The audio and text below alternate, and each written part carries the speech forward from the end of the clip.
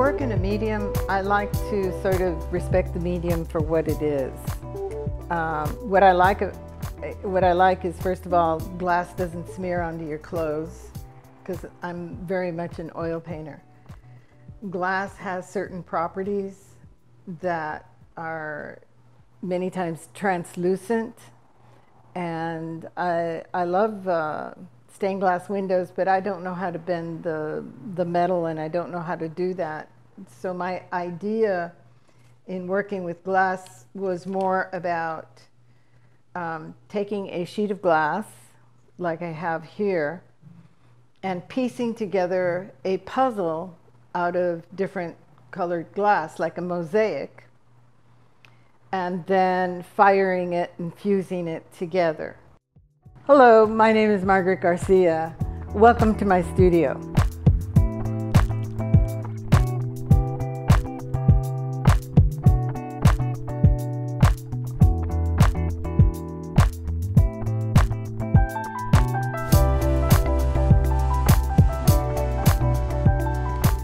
Some glass is opaque and some glass is translucent. So if you work with it in a way so that there are areas that glow and illuminate while others uh, create a silhouette against it.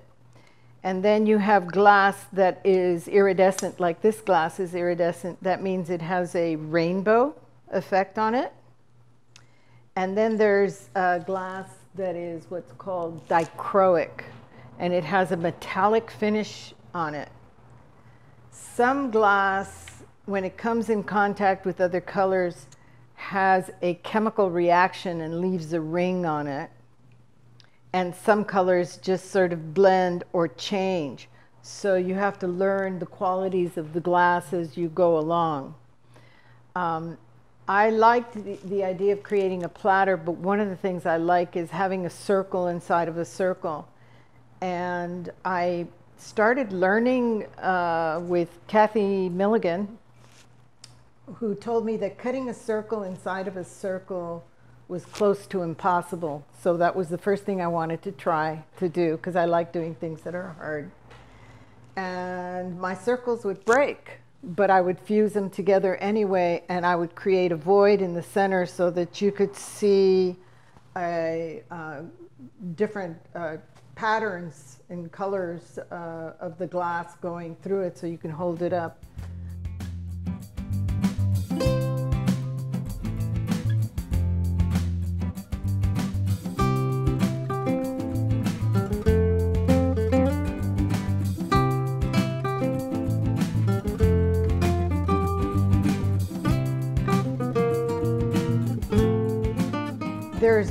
That you can work with glass where you can uh, do a dam so that the glass doesn't melt beyond the dam or you can cut it into a circle and leave it that way. If you do a platter or a plate, you cut all the pieces together and you fuse them onto a, a clear piece of glass then uh, after you've done that, you have to take a second firing and you put it into a mold where it slumps and that's where it sits.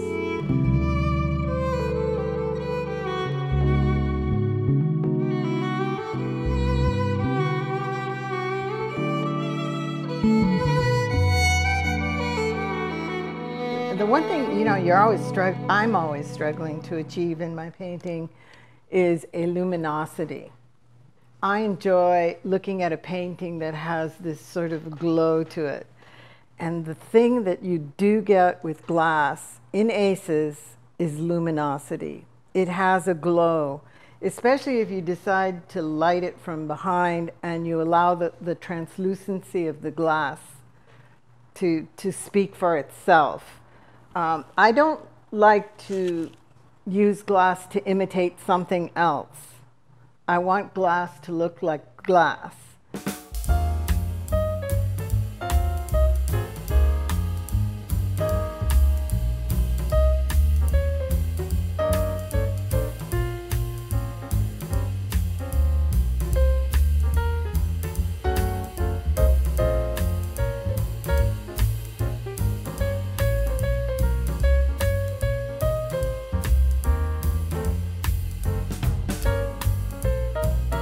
So there are, in creating my puzzle for the image that I'm trying to create, there are two different approaches that you can do. One is to Photoshop it and, and work it in Illustrator, take it to someone who does CAD, that's computer aided design, and have the program cut out all the pieces for you in WaterJet. And when you do something like that, it's very, very precise. And so you can get a very precise puzzle by doing something like that. This piece of glass uh, has cuts that were made through water jet. And some of those were used for the Selena pieces that I made.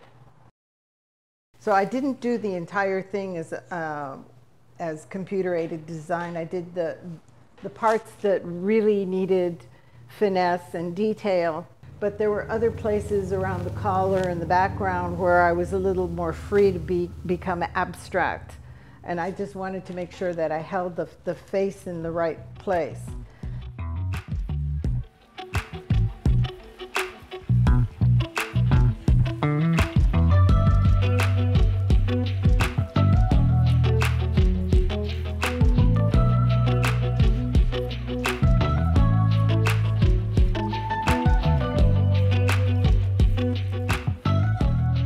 Things you do when you're working with the ring saw is you cut all your pieces out like you were a puzzle. There are places, for instance, this is uh, a photocopy. And several copies were made because we weren't sure which one was going to work.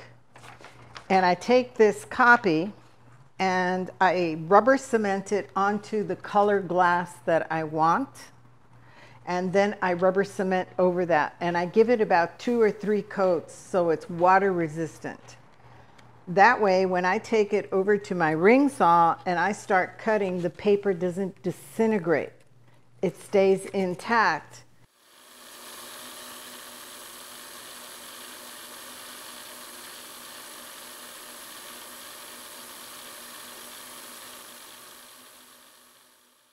When I do oil paintings, I don't pretend that there's something else. I don't try to make oil paintings look like acrylic or, or prints or anything else. I, oil paintings are oil paintings. Glass is glass. And the media needs to speak for itself and you need to work in a way and in a fashion that accentuates the, the nature of the medium. That's my belief. Um, some people like uh, using a medium in a way and trying to make it look more like something else that it's not. And um, I, I, like glass. I like the translucency of it. And because the history of glass is such that, you know, we have stained glass windows in churches and you can put them up in windows, that there, it, it transmits a sort of spiritual quality, a sort of quietude that you can sort of look at that piece and just sort of stare at it and and examine it and be at peace with it. You know, that that's what I like about glass.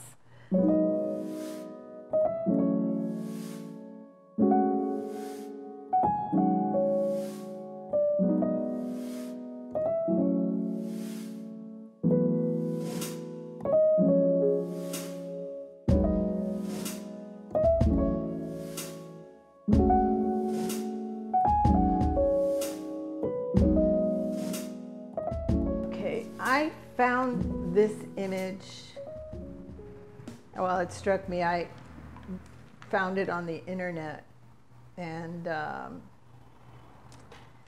I it, it, was I don't know who shot it, but it was about what was going on on the, I believe in the Gaza Strip, or when they they moved the American embassy into Jerusalem. There were a number of deaths among the Palestinians, and one was a little girl and I was so touched by the anguish of this family. And I don't do a lot of political pieces. So for me, this is sort of a, a political piece. Um, I, I, don't work, I don't do a lot of uh, slogans and a lot of political work. but I was so touched by the experience of these people that I wanted to respond. And it was my, my heart, my compassionate side, you know, kind of rising up and saying, oh, we need to do something to, to, to protest or to mark or to acknowledge the, the situation with these people who are suffering in these horrific conditions. And I, I'm not telling people what to do, what not to do. Uh, I, it's not that I am against the war, it's that I am in favor of peace. And I think that that's really where I want to make my statement. Uh, so it's, it's slow going on this piece, but I'm working on it and it is slowly coming together. And as soon as I have all the little gaps in here and all these little pieces tidied up and shaved down so that they fit smoothly, I will uh, go to Pacific Glass and I will sit there for a day. It'll take me a day to put all the powdered frit and glass between all the edges from one to another so uh, that that the glass fuses evenly and it isn't left with big holes or indents. So that will be the next step that I take.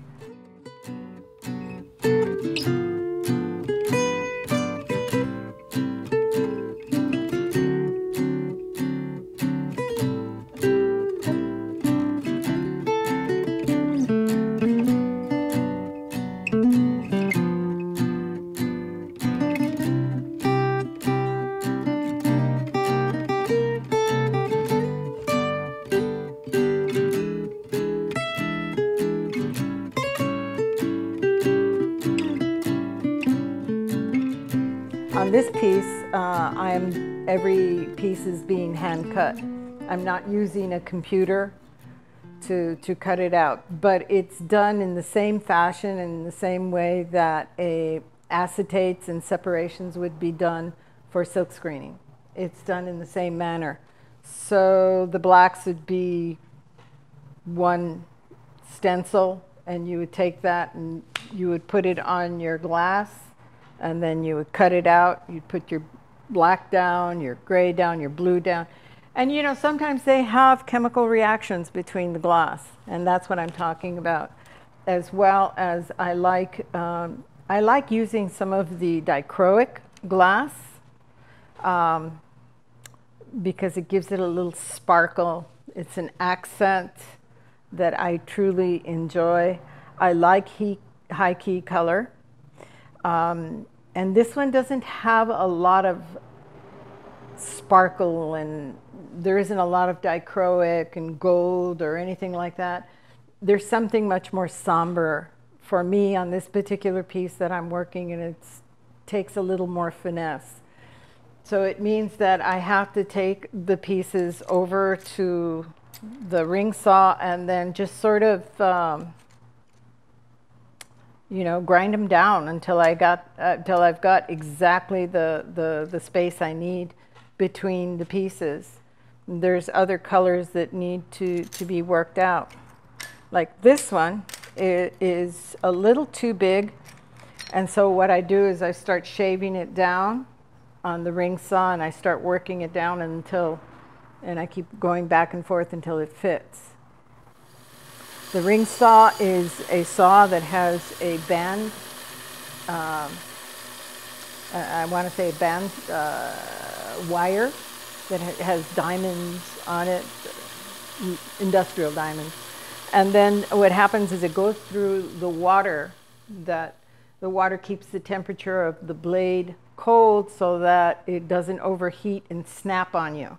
So you have to have um, a ring saw that has a water reserve in the bottom. The band, the wire band, works through the saw and works its way through the water with the water reserve in the bottom. And then all the little uh, glass pieces fall through to that and you get a little bit of watery sludge in your bandsaw.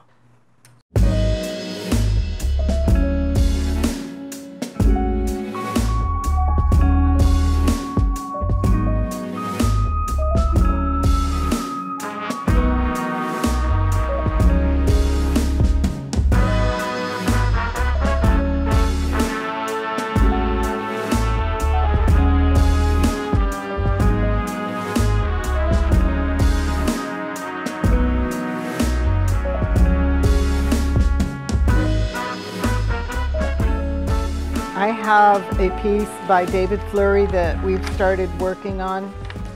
And it's been mapped out so we start figuring out Summer has done this for me. So we have the colors demarked in terms of the shapes.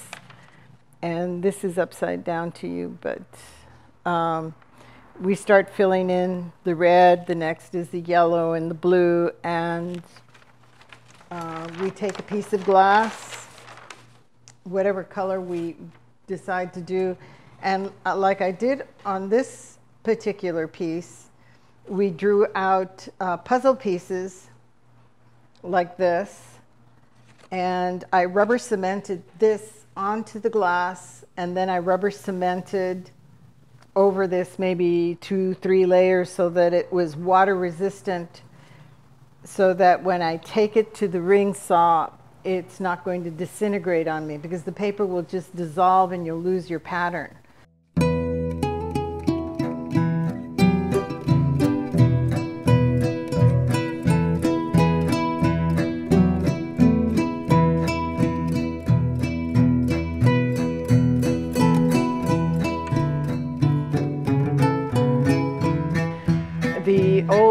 Plaza de la Raza in the old Lincoln Park had like cement elephants, and I remember uh, exiting, and they had these beautiful cement elephants that have since been reclaimed by the LA County and moved to the LA Zoo. Uh, but uh, Lincoln Park itself had um, a, a alligator farm. It had ostrich rides. It had a carousel. It had a lot of wild animals, and the Selig had used it as a film studio for Tarzan, and the original Tarzan was filmed there. They had boats and all these other things. And now uh, we have Plaza de la Raza, which has functioned to sort of preserve the existing culture there in East LA.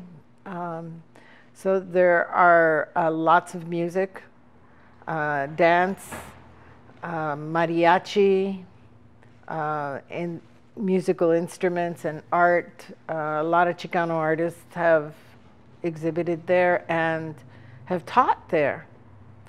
Uh, I teach. I've taught there. I teach there. Frank Romero teaches there. I think Sergio Hernandez used to teach there. He's the one that used to do all the political cartoons. Uh, Roberto Gutierrez has taught there. Uh, so we have a lot of uh, people, Jose Lozano. Um, so it's it's been a, a, sort of a gathering point for a lot of Chicanos to be able to go there and and get a gig and teach a class, which has been really good for the artist and for the community.